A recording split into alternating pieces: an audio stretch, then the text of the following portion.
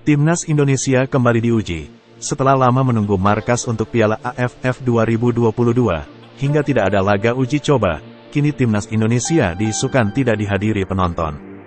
PSSI belum memastikan apakah laga Timnas Indonesia di Piala AFF 2022 dihadiri penonton atau tidak. Jika hal itu terjadi alias tidak dihadiri penonton, tentunya ini akan menjadi kerugian bagi Timnas Indonesia untuk tampil gemilang. Timnas Indonesia berpotensi rugi dua kali dalam misi merengkuh trofi Piala AFF untuk pertama kali dalam sejarah.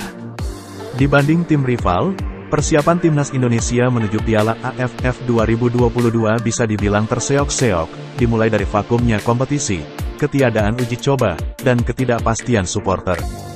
Pelatih Shin Tae-yong dirugikan dengan berhentinya kompetisi BRI Liga 1 2022 per 23 akibat tragedi Kanjuruhan. Bencana yang disebabkan ketidakprofesionalan penyelenggara kompetisi tersebut membuat pemain tak mendapatkan menit bermain untuk menjaga match fitness dan competitiveness. Saat Liga 1 Indonesia diputuskan bergulir pada Desember, pemain telanjur berkumpul di TC Timnas Indonesia sehingga malah tak mencicipi atmosfer kompetisi. Demikian pula, pihak klub juga dirugikan karena pemain terbaiknya tak bisa dipakai dalam jadwal padat Liga 1. Selanjutnya, Shin Tae-yong juga dirugikan dengan ketiadaan pertandingan pemanasan untuk tim yang pemainnya tak bertanding dalam dua bulan. PSSI tertinggal dari federasi tetangga yang mau mendatangkan negara lain untuk bertanding melawan tim nasionalnya. Saat timnas Malaysia menjamu Kamboja atau Thailand bersua Myanmar, tim Garuda justru mendekam di Bali tanpa uji coba.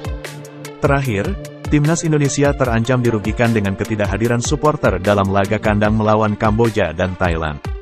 Sejauh ini, PSSI belum memastikan pihak pemerintah dan kepolisian akan memberi izin supporter di Stadion Utama Gelora Bung Karno, atau stadion lain yang dipilih.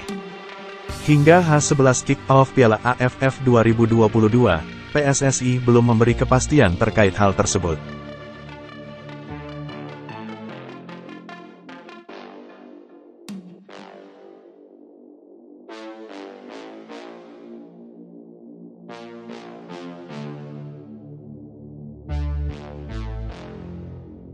Terima